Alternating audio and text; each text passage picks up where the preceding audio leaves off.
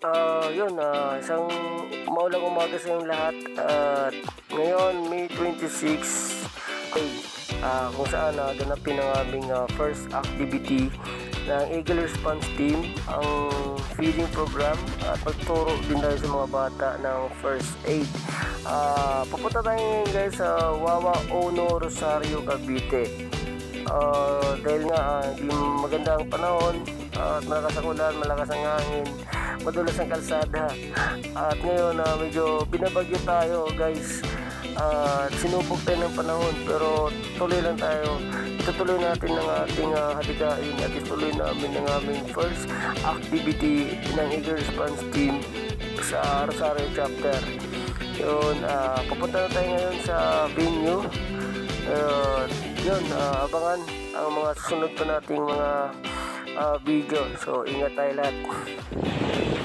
Ah, yun guys, bali kakarating ko lang no. So, nag-aayos na ang tropa at dadali na sa venue ang ating ah, napag-ipunan at ang aming napagambagan dito sa aming ah, first activity ng feeding program dito sa Wawa Uno at nakasama natin ngayon ang ating ah, butihing ah, barangay kagawad ng Wawa Uno dit kasama natin ah, mga tropa nating Eagle Response Team na barangay Tano dito sa Wawa Uno.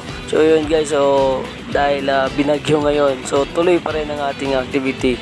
Tuloy pa rin tayo mamahagi ng ating ah, mga pagkain para sa mga bata. At din ah, first yon ang feeding program namin. Din na pangalawa nating activity ngayon ay magtuturo kami ng first aid para sa mga bata. At yun so papunta na kami ngayon sa venue. So yun guys, nandito tayo ngayon sa Wawa Ono, Rosario, Cavite.